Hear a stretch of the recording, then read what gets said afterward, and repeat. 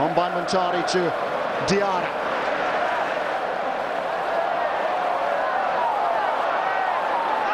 It's Cristiano Ronaldo.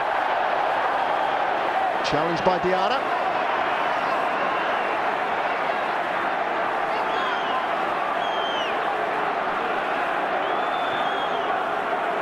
Diarra there with no attempt to win the ball off Cristiano Ronaldo.